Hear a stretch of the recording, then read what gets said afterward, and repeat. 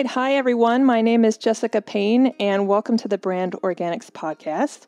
Happy International Women's Day. Um, I think today it couldn't be more fitting. I have a special guest and a pal, a kindred spirit, a friend, an amazing entrepreneur today joining me, and I think it's kind of perfect timing. Uh, today, I'm joined by Gina Garcia. She's the amazing founder and CEO of Trikaroo. She's an author and filmmaker, and she's a veteran entrepreneur. So, before I just babble with praise, I want to formally welcome you, Gina, to the show. Well, thank you for having me. We have so much we could talk about, I think, for, for hours and hours, but for the purpose of maybe today's episode, I'll do my best to, to, to keep it focused on a few questions. Um, the Brand Organics podcast um, you know, by design, I always try to put folks like yourself in front of my audience to, at the end of the day, to empower them with with information, maybe some inspiration as well. And I think maybe that could be the the, the focus of today. Um, you've accomplished so much in such a short amount of time in your in your life. You're a young entrepreneur with with such an amazing resume. Let's talk first about Trikaroo because I think people are probably wondering or maybe even Googling it right now. Um, can you talk us uh, through Trikaroo and its origins? Because you have a really special uh, story about kind of what gave you the idea, and um, and I think it's it's worth sharing with our audience. Well, Trikaroo is we basically make small footprint electric passenger vehicles, and it all started pretty much. I opened a bike shop right when I got out of the military and a customer had rolled in with a ornate antique pedicab similar to the ones my mom ran in the Philippines. And she ran pedicabs, jeepneys, the pretty much like a taxi service. Uh, like it, it looks similar to like a rickshaw. So um, my mom had told me many stories of her entrepreneurial endeavors um, in the wow, it was in the fifties and sixties so I thought it was um, a really cool thing to have. So I wound up buying the customers and um, put it in my my bike shop. And from there, people wanted to start renting it for like weddings, private parties, and things like that.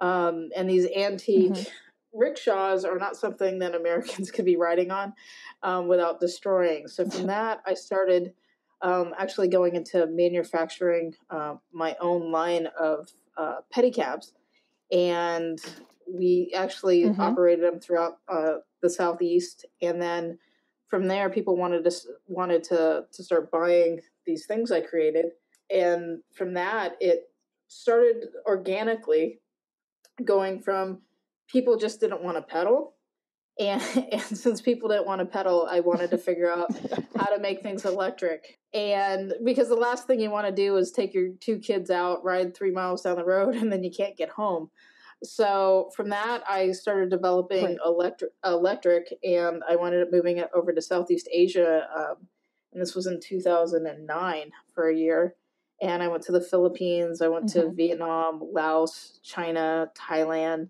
and just kind of explored all these unique different transportation concepts that are are are that are not foreign to their cultures, but as for, foreign to the to the American culture. So I kind of uh, just developed things like that, and ended up meeting some uh, great manufacturers of our electric parts and things like that, and started global sourcing and bringing them in. Um, to, to bring them stateside. And from that, we started building up our own um. And the premise of Trikaroo is all of our uh, all of our products have three wheels, trike as in tricycle, and kangaroo with the being a kangaroo, um, all of them take two. And there's actually more to the kangaroo side, and that goes back to my childhood, but really won't get into that. But but just as far as the ability that um, the one thing that my bike shop show, showed me is that that there's a certain happiness that goes along with like riding a bike and riding your big wheel. I was on my big wheel every single day as a child. So basically I made giant big wheels for adults and to bring that happiness. And let's face it, it's it's better to ride with somebody than ride by yourself. So um, it brings smiles to people. It's the only passenger vehicle that you could ride on the road at 18 miles an hour, take it on the sidewalk, and then drive it into a building. It'll fit in an elevator, and that's taking two people. That's amazing. It's it's Thank funny you. you you hit on a few things. I think what's more American than not than us not wanting to pedal. Um, it's like, but I think you hit on a few things, and you know, people people listen to this podcast because I, you know, for all sorts of reasons. I'd like to think so. One is uh, we, we've got a lot of entrepreneurs, so folks who might be really interested in in your experience in terms of really finding finding your market. And I love how you put it. So I just want to highlight it's sort of like you spent time and i think maybe that's one of the biggest lessons i hear certainly from other entrepreneurs it's like you just need to get the data you just need to get the information and you literally moved to southeast asia and and i love how you put it you you were studying kind of uh, a mobility solution that was kind of a no-brainer for them it was an innate part of their life but you recognized the um, the novelty and the um, the fact that here in the U.S. we really it's not only just demand or lack thereof, and not having competitors. But I think, you know, you, it really I think speaks to your ability to to identify an opportunity, but really tailor it to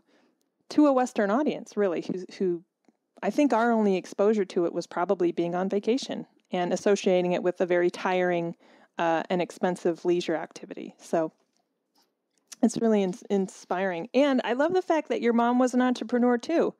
So you guys kind of share that. How does that feel, kind of um, at your age now, as as an accomplished uh, woman entrepreneur, knowing that you kind of have an, a kinship with your mom? I don't know if you realize that. Well, I th- I think there's a beauty in in in kind of um, following in like a family tradition. Um, my I, I come from a long lineage of entrepreneurs. Actually, my family, um, my great great grandfather brought um, movies to the Philippines in the 20s. So uh, built the first movie theaters. So there, there's wow. there's a thing as far as um, being able to, and then my mom's sister um, brought the hamburger to the Philippines with Burger Express. Um, I, I think she brought heart attacks to the Philippines personally, but but um, she had 500 hamburger restaurants in the Philippines. She's the equivalent of Ray Kroc um, of McDonald's, um, but in the Philippines, and and she, you know, she re- oh retired God. ten years ago. Um, so mm-hmm. there's always been this entrepreneurial gene um, within my family. My brother's an entrepreneur as well, um, and so it wasn't. And, and and same with my father. It the the cool part with my mom, and it's interesting because I do a lot of trade shows and events, and and there's an, a natural assumption that the business, when I say it's a family business, that I'm following in my family footsteps, is that it's my father's business and not my mother's. You know, so so my mother co-signed my first loan um, when I got out of the military to open up a bicycle shop, and you know the option was money for college um, or money to open a business, and it wasn't like you have to go to college, even though I went to college it was, well, if I paid for you to open a business, that will pay for your college. So it, it was that, that way of where do you put money that's actually right. going to benefit you the most. And, and sometimes I think people forget that, like, if you invest in a person versus invest, you know, investing in like a business for somebody, that you're you're, you're better off getting your money back or, or money towards a future endeavor than just throwing it at something where you're just paying for it and there's no you know money coming back in so my mom invested in me um, with you know co-signing a loan. It was like $45000 loan to open my first bike shop and and that was in 1998 mm-hmm. and you know now almost what, what is it? 19 mm-hmm. years later um, am i doing math right? Um, it, it, it, it's crazy to be like that little bike shop is now i'm now a manufacturer. Like i had um, it was funny because when i met you last year in la and i did the right. uh, abilities um, trade show one of the people there were like you're the millennials ford and that was like one of, that's like my favorite quote and i'm like well what do you mean it's like you're you're creating the transportation for the the new millennials hmm that is more eco-friendly and even though you know people were mm-hmm. classified as a mobility aid um, i didn't start off with any intentions of making any kind of mobility scooter but you have mm-hmm. to fall into a category and that's I think where people are most comfortable in is putting us into that category. But we have mm-hmm. college mm-hmm. students, we have moms that take their kids to school, we have people at tractor pulls and, and car shows that buy our trucks to get around like the you know area and and, and um, but at different venues where you're having to walk acres and acres and acres to look at different things from boats to cars to tractors to these kind of events, flea markets and swap meets, it's mm-hmm. a it's an easier way to get around and see more things. Let's you know? talk a little bit about um, your audience because I, I think that's a perfect segue to that. Our audience is, is pretty much everyone. It, it's one of those things. It's like when we create your business plan and developing our initial business plan, and we entered a whole bunch of those business plan competitions and things like that. Everybody's like, you got to narrow it. You got to narrow it down. You got to narrow it down. You got to know who your audience is. But sometimes, regardless of how planned out you think your audience is, it's not. And literally, a customer showed us who our audience was, and we got a call, and and it, they were doing the Turkey Rod Run, which is a car show um, in Daytona Beach, and they were like, you know, the car shows are banning golf carts, and I'm like, okay, like I don't understand why this matters to us, but thank you for your purchase. It's like, well, you have to show you, you when you get there, you'll understand. And we showed up at the this car show. I, I literally bought a small RV because it was a four day event. And I was like, if we're going to be here for four days, I want to at least be a little comfortable. And we went with the intentions. Mm-hmm. We only bought three trikes there. We thought we were just going to be handing out flyers.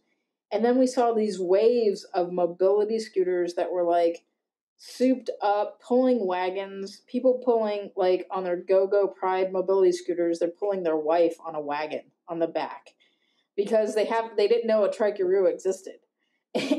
and we literally sold 10 trikes in less in in a day wow. and a half. We had to keep on driving back from Daytona to Orlando, which was an hour drive to go get more product people were walking up and they were just saying, "Is this charged?" And we're like, "Yes," and they were like, "Just giving us cash." It was the craziest thing I've ever experienced, and so we actually had to pivot our, our business as a company um, for this market, and and we've we've grown three hundred percent since November. Um, as a company, we've I've developed three new trikes specifically for that kind of arena of car shows, tractor wow. pulls, boat Congratulations. shows. Thank you, thank you. It, it's it's been amazing actually, and we we had to just we had to do a shift, like an an extreme shift as far as um, you know, we're at events every weekend, and and sometimes you just have to forget about having weekends. Uh, you know, entrepreneurs don't we don't sleep, and and you have to go, you have to follow the money as far as um, it's not always about taking the weekends off and it's been you know it's been hard for me um, because usually um, I, I, I do a lot of activities with friends i take my mom bowling i have a great relationship with my mom and usually that was on weekends and i've had to shift everything so i could be at a car show in daytona or a tractor pull in fort meade an event uh, you know the auto fest in charlotte um, or in Moultrie, Georgia, and that's weekend to weekend. We've had to we we bought a big old toy hauler. We've bought more vehicles, and we're currently buying a fleet of U-Haul trucks that we're having redone, so that way I can have teams of people to go to these events to sell trikes for us. So we've had to learn how to pivot, and our audience are you know they're people that are mechanics. They're people that like to go out and do activities. They're they're RVers, they're baby boomers, they're people that don't want to that don't log in. Like when I ask for their email address, they're having to call somebody to get so their, their kids' email address because they don't have email addresses. When I ask, can I text them a receipt? They're like, I don't know if our phone gets text. So it, it, it's it's the, this down home country group of people, and they're amazing and they got they get the product instantly. Right. Which which has completely blown my mind because our, our, our first go around with our product were literally moms taking their kids to school and now it's you know uh, semi-retired people that are living in their RVs, living the dream. They're in a different city or state every weekend, traveling with their hundred thousand dollar cars. You know, their old Model Ts, their old Mustangs, their old Camaros, and they're looking for Corvette parts. And they use the Triker, and they're getting Trikaroos to match their cars. They're like, "Can you get a custom paint job?" And that's awesome. You know, we're building, we're building the millennial vehicle for the people that are, are, are driving the vehicles of the 1900s, which is crazy. So, Gina and I had so much to talk about, we actually decided to split this podcast into two parts. So, this was part one, and stay tuned for part two, where we dive into some other areas with Gina, um, specifically how she stays congruent. If you have questions for Gina or want to uh, discover a little bit more about her amazing story, or maybe even want to buy a Trikaroo, visit trikaroo.com. Gina also has an amazing um, contribution to a book that's coming out. It's available on Amazon and Kindle. I think it's for only 99 cents. So it's it's it's a pretty big steal. It's called Breaking Through How to Reinvent After Failure. So so I encourage you to check it out. Thank you so much for listening to the Brand Organics podcast. Again, I am your host, Jessica Payne. If you've got questions for me or want to hear a topic or maybe even want to become a guest on the show, visit me at jessicapayne.us or find me on social. Have a great day, everyone. I'll see you next time.